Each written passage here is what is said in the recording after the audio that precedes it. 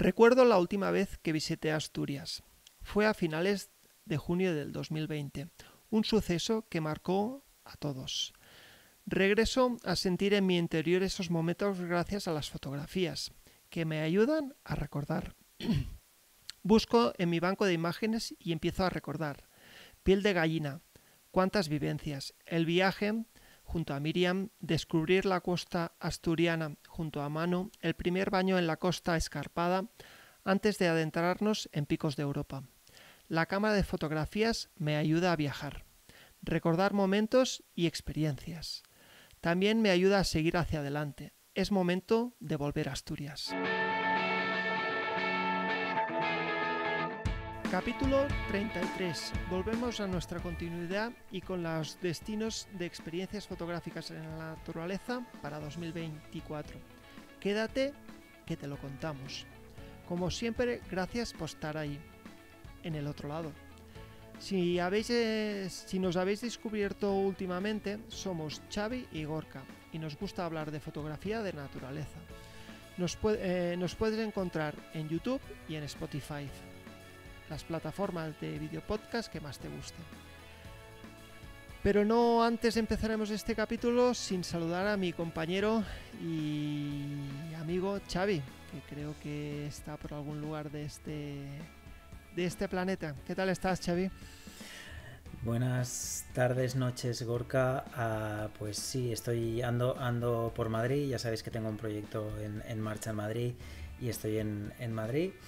Todo bien, todo bien, una semana más grabando y, vamos al, lío porque, porque el capítulo de hoy, con, ese destino maravilloso al que vamos a ir ya mismo, nos, está, nos está esperando. Mm, Asturias, destinación conocida por los dos, vivida y fotografiada.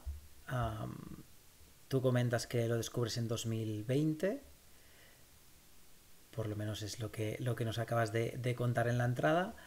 Yo piso por primera vez Asturias, digamos, de manera adulta y consciente en 2022, o sea, todavía más tarde que tú, y vuelvo en 2023. O sea, quedamos fascinados en un, en un puente de aquellos largos, que me escapo con Monse, y, y nos quedamos tan encantados que tuvimos que volver en, en verano del año pasado para hacer otra parte de la, de la costa asturiana. Así que es un sitio para volver continuamente. A ver, eh, mm, se me ha cortado la respiración cuando me has dicho descubriste Asturias en 2020 y la verdad es que no recuerdo, tendría que volver a hacer el ejercicio de cuando preparaba el guion del capítulo de hoy, si había estado antes o no. Y la experiencia me dice que bueno, que vas al banco de imágenes, lo buscas y si te salen, pues has estado y si no, no sé si ya empiezo a tener un poquito, con todos los respetos, de demencia senil o qué, pero yo creo que lo mejor que podemos hacer es, pues bueno, hablemos de fotografía, compartamos fotografías de tu reciente viaje el del 2023. No sé si las fotografías sobre las que hablaremos hoy son de ese año, son de otro año, pero lo importante es que estamos aquí para hablar de Asturias, de que viajaremos a nuestra primera experiencia fotográfica de 2024 a finales de este mes de abril y que si alguien de los que nos escucha se quiere venir con nosotros, pues que hay plazas disponibles y que lo mejor que puede hacernos es escribirnos, ¿no, Xavi? Sí, por supuesto.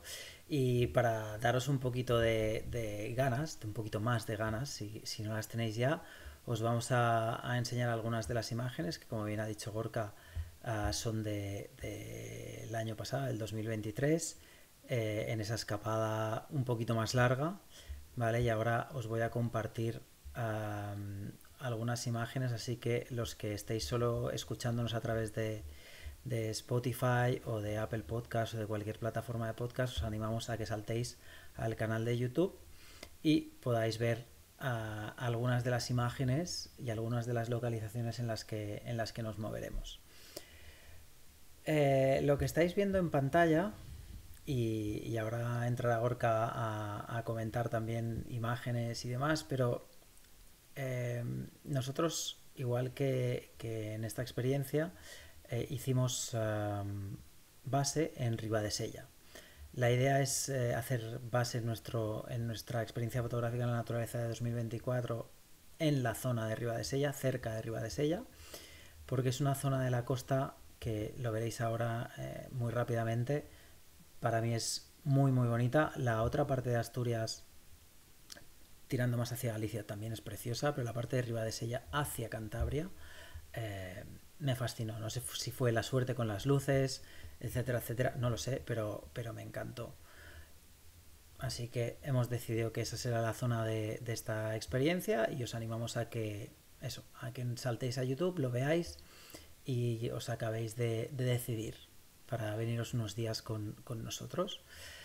Lo que estáis viendo, y, ya no me enrollo más, es eh, Ribadesella, es una de las playas de Ribadesella con una caída de sol. Esto es.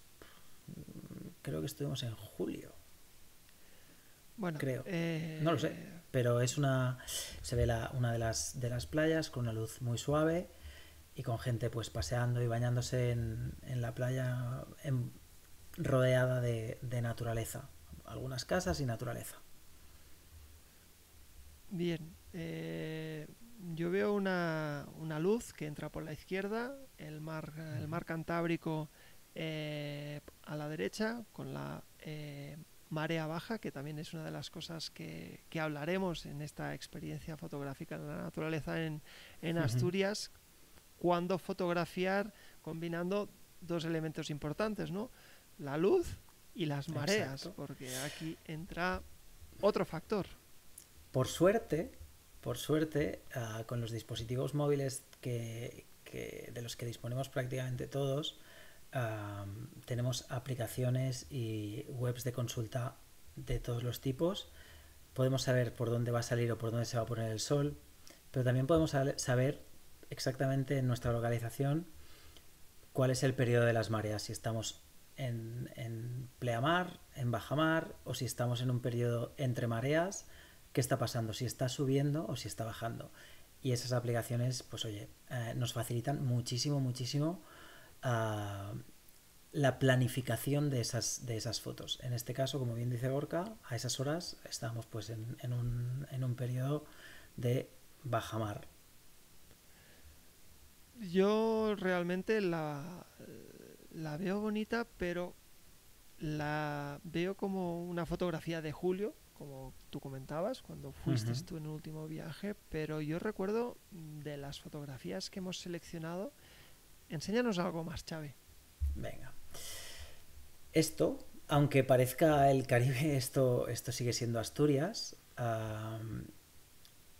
fue una playa que, descubrimos de casualidad y, llegando a la playa eh, encontramos este, este mirador y dijimos, no puede ser, o sea, no puede ser estos tonos de verde, de azul, un día sin una nube y prácticamente confundes los colores entre la vegetación, el agua, el bosque, el, cielo, esos tonos verde azulados por todos lados que dijimos, madre mía, qué, qué cosa más bonita. Y realmente no parece un, una fotografía de una costa tan salvaje como puede ser la costa cantábrica. Sencillamente parece una, a mí me recuerda a, fotografías pues de playas mucho más cálidas con esos tonos de, de pues eso, aguamarinas y, y demás, con esos azules. Eh, desde mi punto de vista, esto es una fotografía vertical. No sé si lo has comentado cuando describías la, fotografía. Es una fotografía vertical en el cual tenemos eh, unos helechos en el primer en el primer plano, en el cual nos dan mucha, mucha perspectiva y no, me conduce la fotografía, eh, o sea, la mirada, perdón, hacia la izquierda. Me llama mucho la atención esos árboles que no sé si son eucaliptus o tan característicos que han utilizado para repoblar y para la industria de la madera en toda la zona cantábrica.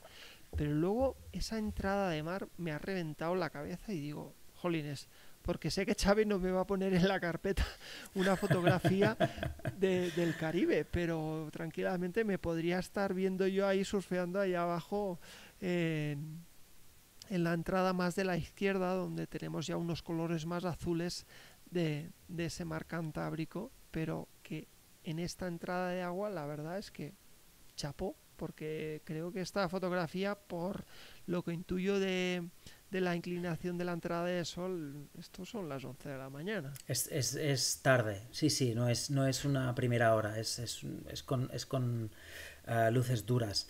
Uh, no sé si, si, estáis viendo mi cursor, lo desconozco, eso no sé si, si se está grabando. Sí, sí, sí que se ve. Pero hay un, hay un, un islote ¿Sí? aquí central, pues eh, aquí el, la marea estaba bajando, ¿Sí? bajó mucho más y llegué andando hasta pasear por detrás de, de, ese islote. Y aquí en esta, en esta zona que estoy marcando, aquí detrás que está en sombra, pues hay uh -huh. alguna cuevecita y alguna cosa muy interesante, pelín arriesgado mm, si no, si no tienes controladas las subidas y las bajadas de las mareas, pero el agua se llega a retirar prácticamente hasta, hasta esta línea de aquí. O sea que es un sitio pues que, que con las mareas da, da, muchísimo, muchísimo juego.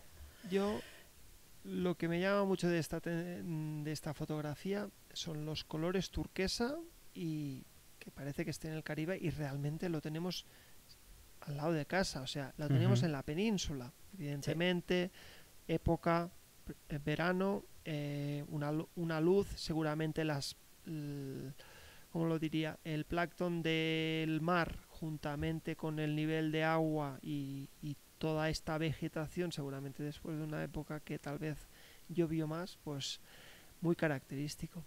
Pero enséñame más, Xavi, va, enséñame más fotos. Más colores turquesa. Um, otra, otra playa, es en la misma, estoy en la misma zona, es lo que comentábamos de Riva de Sella.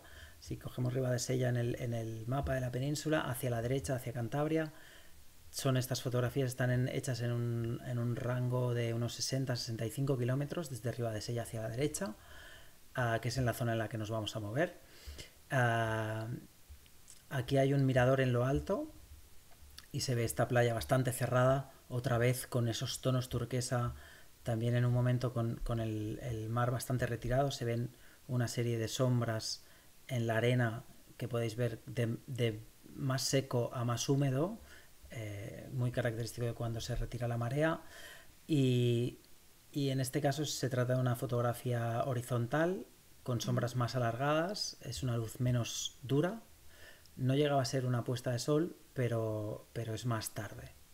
Mira, fíjate una cosa que muchas veces en fotografía de paisaje hemos hablado siempre de madrugar, trasnochar, ya sea o para las últimas luces, sobre todo a final de primavera, verano y principios de otoño, para sobre todo esas, eh, estoy hablando en España, ¿vale? Concretamente, uh -huh. pero que te toca pues llegar tarde seguramente a donde a donde cenarás o donde te alojarás aquella noche o, bueno que de extremos estamos hablando pero fíjate como otra vez una fotografía bien compuesta pero incluso a mí esta mañana cuando he visto las, las fotografías se me iba eh, la, la, mirada o sea al final de todo de, de, de esta costa de Asturias eh, que se ven ahí al, al final imagino que son unos islotes y es como el, es la composición, ¿no? Entras la playa principal, buscas el momento que yo creo que esta imagen con pleamar no quedaría tan bonita, es importante esa esa, esa playa uh -huh. y, y, bueno, también esa entrada de luz, ¿no? Que, que, dibuja la silueta de las de las montañas que quedarían a nuestra izquierda, ¿no? Pero va, enséñame más fotos, Xavi, que tengo ganas de irme a Asturias contigo el 25 de, de abril. Aquí, uh, aquí la cosa ya se empieza a poner interesante. Aquí estamos en una zona de acantilados, una zona muy característica de esa zona de Asturias, de esa, de esa región.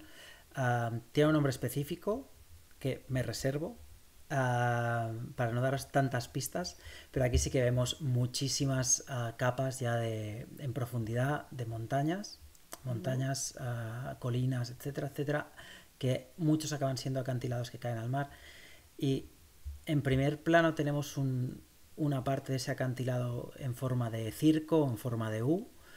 Y en segundo plano, digamos que tenemos el acantilado de frente con unas cuevas erosionadas por el, por el mar, con una silueta pequeñita, pequeñita,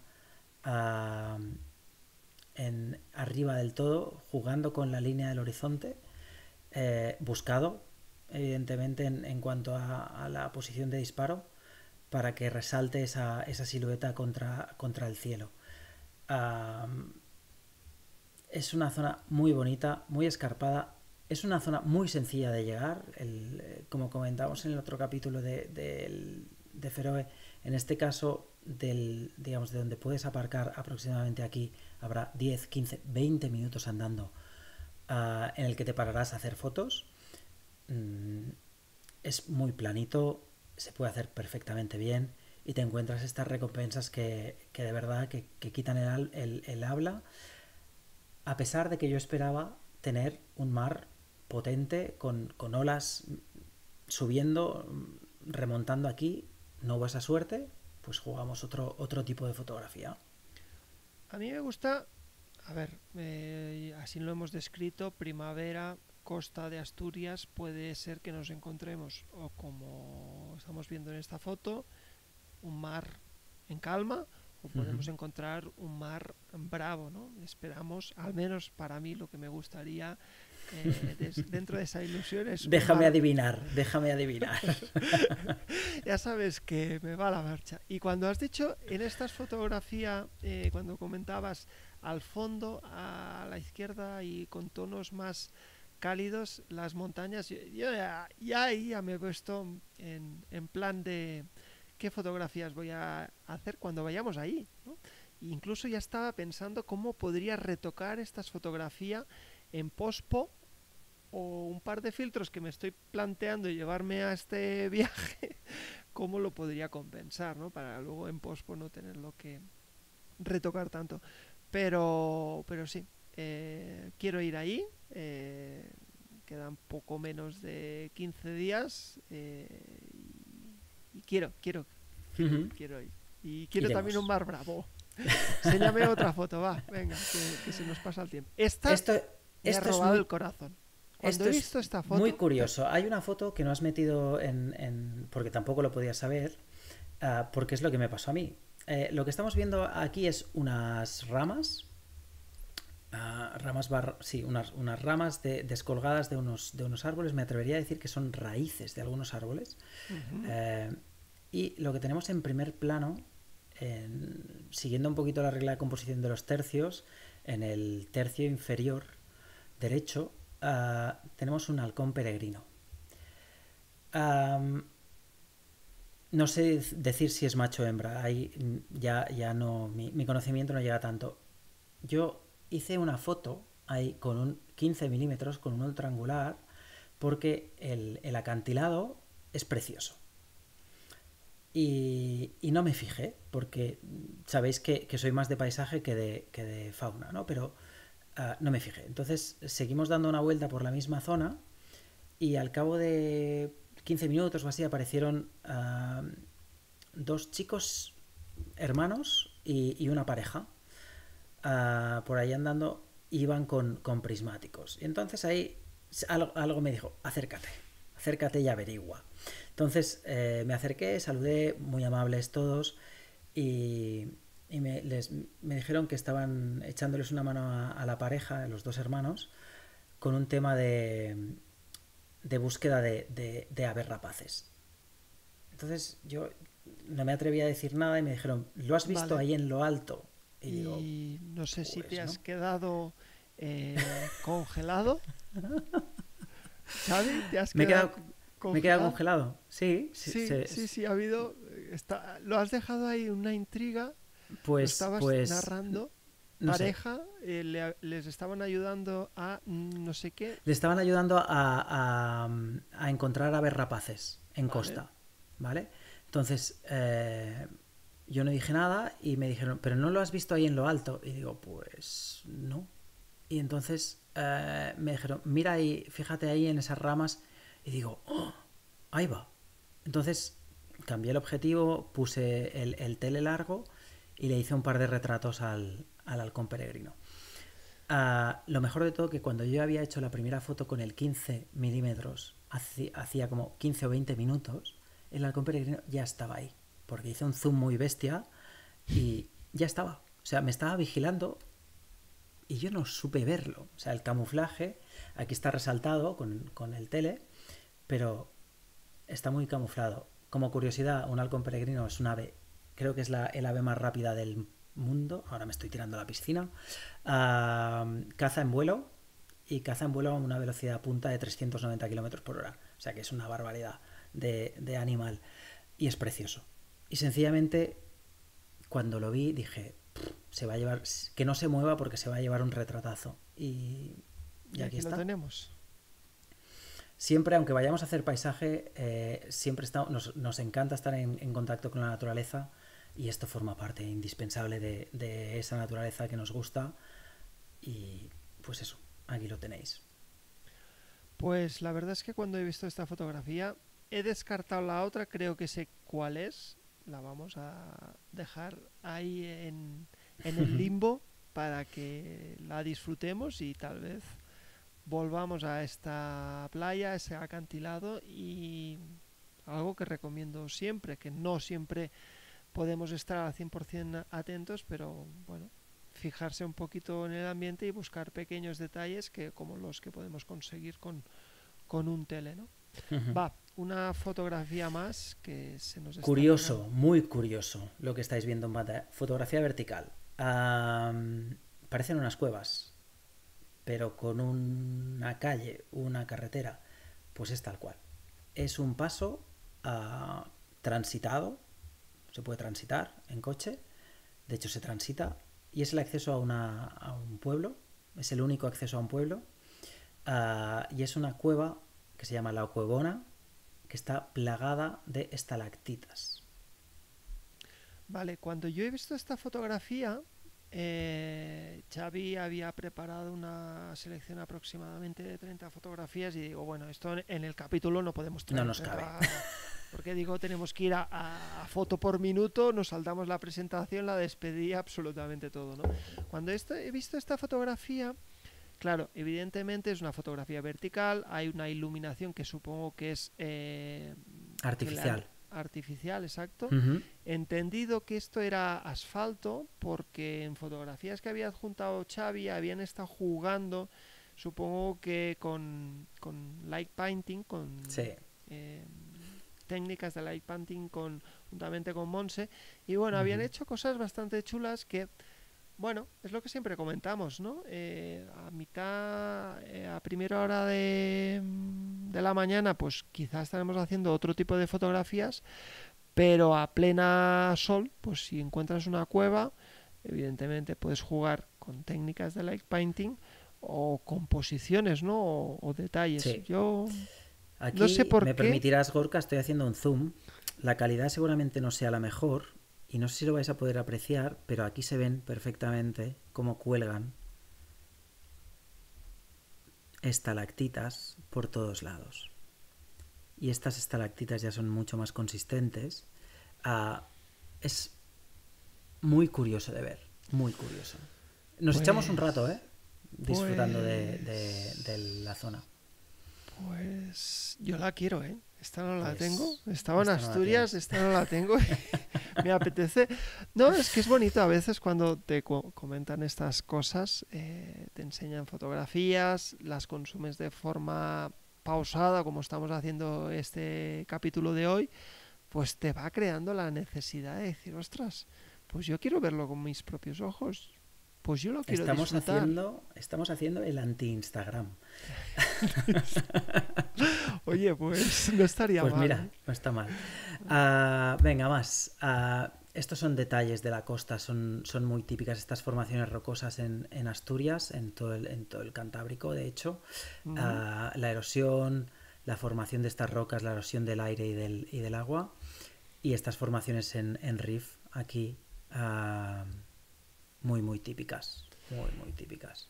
yo lo único que añadiría a esta fotografía es que nos podemos pasar toda una mañana o toda una tarde, todos desde el mismo punto, sin cambiar de objetivo, y hacer tantas fotografías como imaginemos, porque con un tele, como decíamos antes, que nos ayudó, bueno, que te ayudó en tu caso a hacer la fotografía del halcón, pero en ese, con ese mismo tele podemos ir haciendo composiciones y luego hablar de lo que ves tú, que ve otro compañero y esto pues eh, luego cuando se va la luz decidiremos o no decidiremos en el, en el, en el viaje a Asturias si hacemos fotografía nocturna, pero tú fíjate alrededor de una mesa, que es algo que no pasaremos por alto en, en el viaje, eh, cómo nos podemos entretener después de haber disfrutado la buena gastronomía asturiana, eh, ahí con el móvil mismo o desde la misma pantalla del, del, de la cámara, viendo diferente, cómo diferentes personas en un mismo lugar han podido sacar composiciones totalmente diferentes y dejar volar eh, la creatividad. Más. Pasamos foto. Pasamos foto. foto con angular, a luz dura. es una larga exposición con trípode y estos colores otra vez en, turquesas. turquesas, o sea, sin más, sin más. Sin nadie en la playa. Muy poca eh, gente. Muy poca gente. Ahora con la descripción que estás haciendo tú, yo veía una un difuminado entre el agua más verde que tiene un poquito más de profundidad y, la playa.